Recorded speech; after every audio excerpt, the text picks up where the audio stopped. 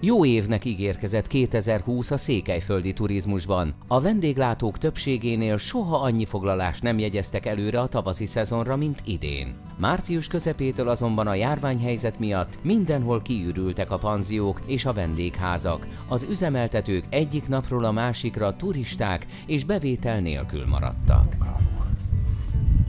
A zetevárajai víztározó közelében sorakozó kulcsos házak hetek óta üresen állnak.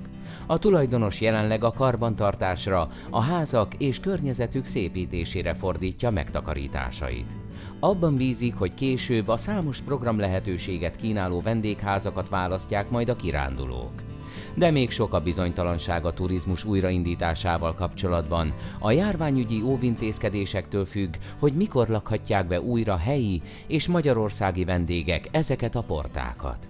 Le vannak foglalva a szállások, foglaltnak tűnik, de ha jól értettem, a koronavírussal kapcsolatosan ilyen húz meg, erez meg intézkedések fognak történni, annak függvényében, hogy hogy alakul a fertőzöttség, és jósnak kell legyen az, aki ezt most meg tudja mondani jelen pillanatban, hogy mi fog történni augusztusban. A csend uralja a székelyvarsági túrahelyeket, a vendégházakat, a vízesést, de még a turisták kedvelt pihenőhelyét, a parlament néven ismert vegyesbolt nyári kertjét is.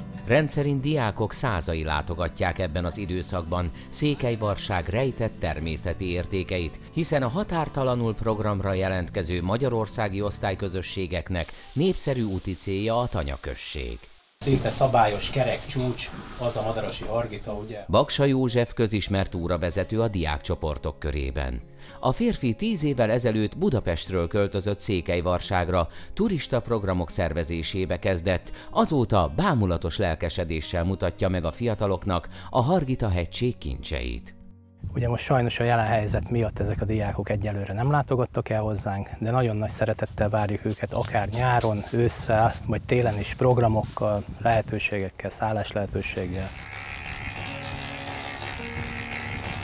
A túravezető egyike azoknak a székelyföldi kisvállalkozóknak, akiknek részben vagy teljes egészében a turista forgalom jelenti a megélhetést, ezért most ő is nehéz helyzetbe került. Egy falubeli sietett József segítségére az építőiparban ajánlott segédmunkási állást számára. Láttam, hogy most már tényleg nincsen, neki sincs kiút abszolút sehova, és ugye mi barátok vagyunk. És akkor, na, mondtam, hogy volna-e kedve, eljön-e, most próbáljuk meglám, hogy mit tud, mit nem tud, de első osztályú munkás.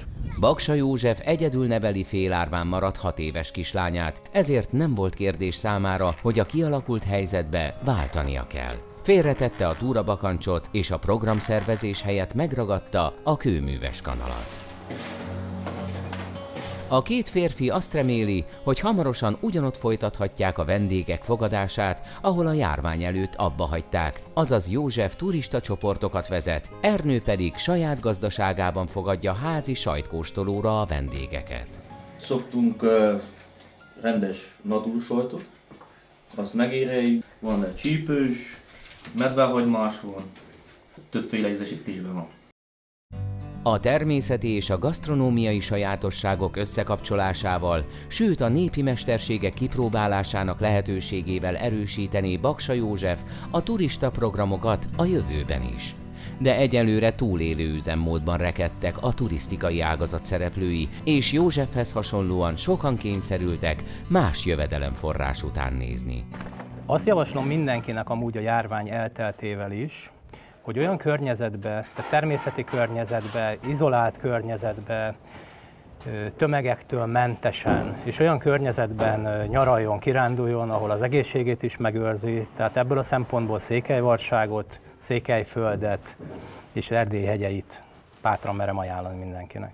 Egy biztos, a hegyek, a patakok, a végtelennek tűnő erdők és fensíkok megvárják a turistákat. A szállásadók és a túravezetők sem adják fel. A korlátozások végén visszavárják a vendégeket, akik biztonságos, élményekkel teli időt tölthetnek a nagyküküllő forrásvidékén.